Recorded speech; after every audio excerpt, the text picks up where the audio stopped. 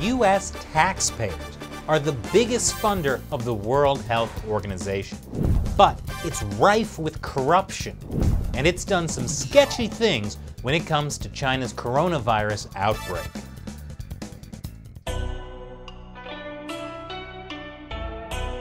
This is China Uncensored. I'm Chris Chappell. When the world is threatened by an outbreak of a deadly coronavirus from China, who are you gonna call? No. Who? The World Health Organization. I can see how that could be confusing. Let's just stick with WHO. And I can see how the WHO's response to the coronavirus could also be confusing, because it's hard to understand how the main global organization charged with handling it could have screwed up so badly. The World Health Organization is a United Nations body concerned with world health, at least supposedly. But it turns out corruption in the agency is putting lives at risk. By now, it's a recognized fact that the Chinese Communist Party has used a two step solution to deal with the coronavirus. Step one cover it up. They arrested whistleblowing doctors and journalists. And state-run media either kept numbers of infections impossibly low or didn't report on it at all. But after weeks of cover-up allowed the virus to spread across China and around the world, it became too big to cover up. So then, step two, authoritarian crackdown. The Chinese regime has quarantined much of Hubei province where the outbreak began. It is the largest quarantine in human history, with tens of millions of people affected. And now, much of the rest of the country is under lockdown as well. Now you might be thinking a quarantine makes sense, right? Except on this ginormous scale, it doesn't actually work well. It's been authoritarian, heavy-handed, and often arbitrary, varying from one village or city to another. And this has made Chinese people lose trust in their government. Some people look for ways to escape the quarantine zones and many don't report to authorities when they get sick because the consequences could include being put in a quarantine center next to hundreds of other sick people. In some cases, people have said that the quarantine centers don't have enough medical staff or even food. According to an expert at the University of Edinburgh, the way Chinese authorities have gone about it is quite dangerous because you actually start to erode that trust in the government. You want citizens coming forward and saying, I feel unwell. The Chinese Communist Party is getting slammed with international criticism for how they handled the coronavirus. But guess who hasn't been criticizing them? The World Health Organization. In fact, the WHO has been praising how the Communist Party has handled it. This is the Director General of the WHO, Tedros Adhanom meeting with Chinese leader Xi Jinping three weeks ago. At the time, Tedros said, We appreciate the seriousness with which China is taking this outbreak, especially the commitment from top leadership and the transparency they have demonstrated. He also said, China is actually setting a new standard for outbreak response. Hmm, detaining activists who criticize Xi Jinping? Technically, that is a new standard for outbreak response. Anyway, Tedros lavished praise on China, despite the fact that it took nearly two weeks for the agency to get a go-ahead from China to send even an advance team, which arrived in Beijing on February 10th to discuss a joint mission.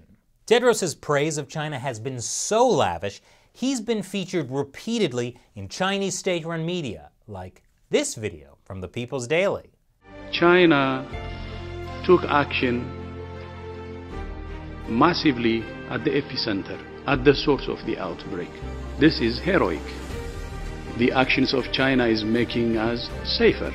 Maybe it's just me, but I don't feel a whole lot safer.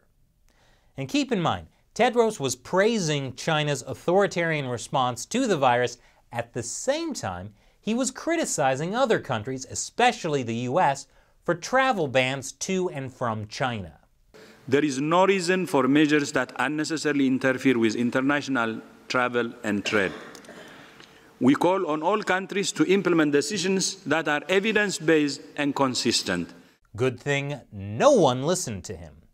Major world airports set up screening procedures for travelers who had recently been to China. Many airlines simply stopped flights to and from China. You know, it's not a great thing when people ignore the main global organization that's meant to advise everyone on health crises. Tedros also said in an interview that the quarantine of tens of millions of Chinese people is consistent with the WHO's regulations that call for the least intrusive measures possible and strong protection for freedom of movement and other human rights. Least intrusive? I would hate to see what the WHO actually considers intrusive. Incidentally, Tedros was a leader in Ethiopia's Tigray People's Liberation Front, that's a wing of the ruling Marxist-rooted Ethiopian People's Revolutionary Democratic Front. He served the violently repressive regime as Minister of Foreign Affairs from 2012 to 2016 after a stint as Health Minister. So I would really hate to see what Tedros considers intrusive. Though he did say, I think that human rights and so on should be respected. Yeah, human rights and so on, yada yada yada. But Tedros isn't the only one in the WHO who's praising the Chinese Communist Party's response to the coronavirus. Another WHO representative recently told a panel, the people of China feel protected. We all need to take a step back and admire what's happened. Remember Peter Humphrey, the British private investigator who was jailed in China in 2013? He had been drugged, chained to a chair, locked in a cage, and then made to read out a statement written by the police in front of the cameras. The anchor who presented the footage, James Chau, is now a goodwill ambassador with the World Health Organization. This kind of praise for China has been going on for years. This statement from former WHO Director General Margaret Chan says, in the eyes of the world, China is increasingly seen as a model for development at many levels. China has lifted millions of its people out of poverty. And China is extremely fortunate to have a president who has made health the center of all government policies. And if the people don't want to be healthy, sometimes you just gotta force them.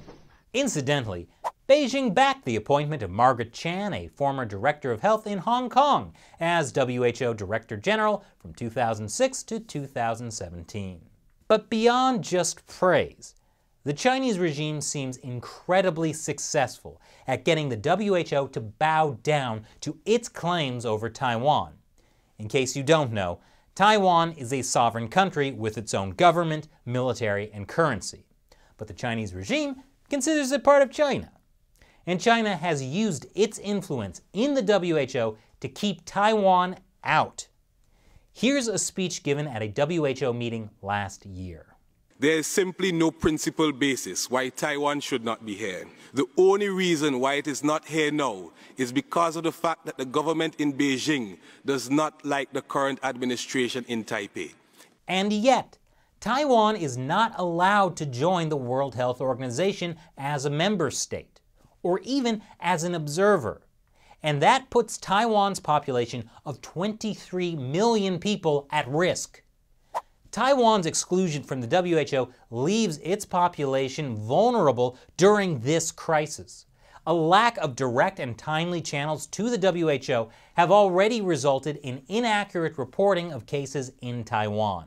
Taiwan has repeatedly complained that China and the WHO aren't sharing information about the coronavirus outbreak with them.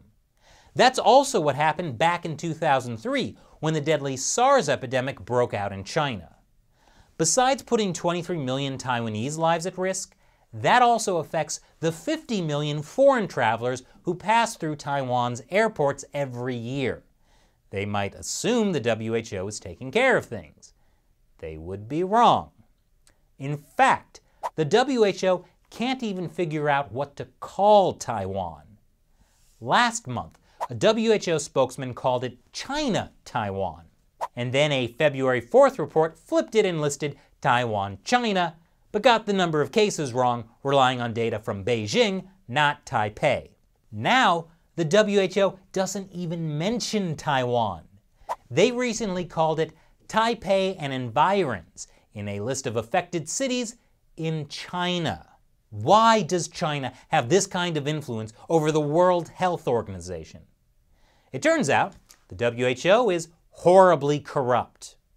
An audit revealed there has been a surge in internal corruption allegations across the whole of the organization, with the detection of multiple schemes aimed at defrauding large sums of money from the international body. That included an upsurge of internal complaints of corruption, fraud, and even sexual harassment from across the 7,000 strong organization, overwhelming an internal team of four full time investigators and two consultants. And yet, the division of the WHO responsible for handling the coronavirus outbreak is so chronically underfunded, it has repeatedly been found to pose a severe and unacceptable level of hazard. Great! So some people in the WHO are scamming loads of money and getting rich, while the coronavirus team is way underfunded. Maybe that's why the WHO delayed issuing a global emergency over the coronavirus, even though human to human transmission had already been confirmed. Or maybe it's because of China's role as a donor to the WHO. After this 2017 meeting between Tedros and high level Chinese leaders, the WHO got a big new financial contribution from China. China also wants to build an $80 million headquarters for the Africa Centers for Disease Control and Prevention. Guess where they want to build it? In Ethiopia. Wow, what a coincidence that that's Tedros' home country. The US is pretty sure it'll be used for spying. But China's importance to the WHO derives not so much as a current donor, but as a future source of funds and a partner with which to tackle the biggest global health problems. Well, China's got the money and 20% of the world's population. But is the ruling Communist Party really a good partner with which to tackle the biggest global health problems? a lot of health experts are furious at the WHO for their praise of China's response to the coronavirus and their delay in issuing a global emergency. According to Lawrence Gostin, a professor of global health law at Georgetown University, who also provides technical assistance to the WHO, we were deceived. Myself and other public health experts, based on what the World Health Organization and China were saying, reassured the public that this was not serious that we could bring this under control. Allegations of corruption in the WHO are nothing new. In 2017, this expose from the Associated Press found that nearly half of the WHO's $2 billion budget went to first class airfare and five star hotels. The United States is the largest contributor. U.S. taxpayers fund about a quarter of the WHO's budget. And get this that doesn't include costs covered by host countries seeking to curry favor, which are off WHO's books. And if you know anything about the Chinese Communist Party and how they buy influence, it's often by spending on lavish trips. Now, there's no evidence that's what happened with the WHO. I'm just a bit concerned, you know, what with all the corruption and bootlicking especially because the WHO relies on the funding and the cooperation of members to function, giving wealthy member states like China considerable influence. So I know right now you're probably pretty worried about getting accurate information about the coronavirus outbreak. Fear not. The WHO is also battling misinformation, working with Google to ensure that people get facts from the UN Health Agency first when they search for information about the virus. And that's why below this video on YouTube, a platform owned by Google, you'll see a link to the WHO, the most trustworthy source of coronavirus information. They put it there automatically. I can't remove it. Of course, if that's not enough to point your opinion in the correct direction, YouTube has also demonetized almost every video I and everyone else on YouTube has published about the coronavirus. You know, to discourage us all from even talking about it outside the official channels. But what Google, YouTube, the WHO, and China didn't count on was the amazing support of what I call the China Uncensored 50 Cent Army.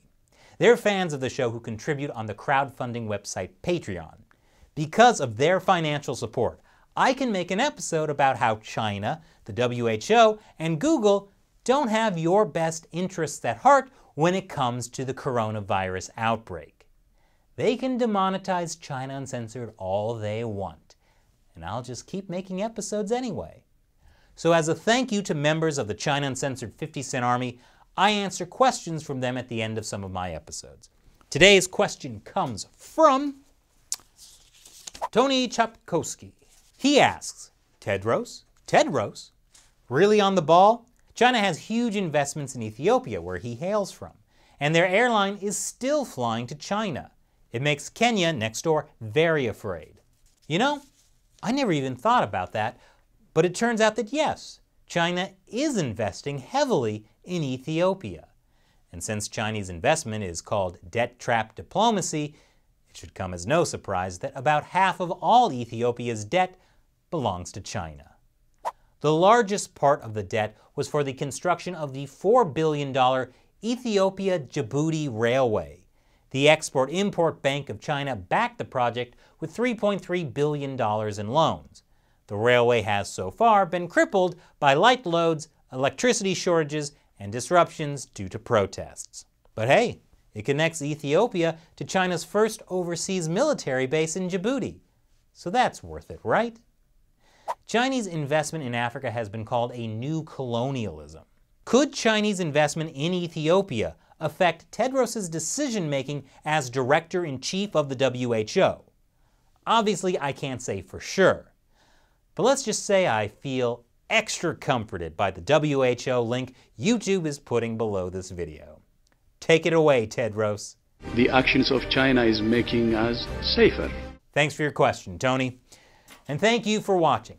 Please be sure to subscribe to China Uncensored. I've been hearing from a lot of subscribers. YouTube has unsubscribed them. So yeah, make sure you're subscribed. Turn that notification bell on so you get notified when we have new episodes. And please, help share these videos. I'm sure the WHO and the Chinese Communist Party will really appreciate it. And as always, check out patreon.com slash China Uncensored if you'd like to join the China Uncensored 50 Cent Army to support this show. Once again, I'm Chris Chappell. See you next time.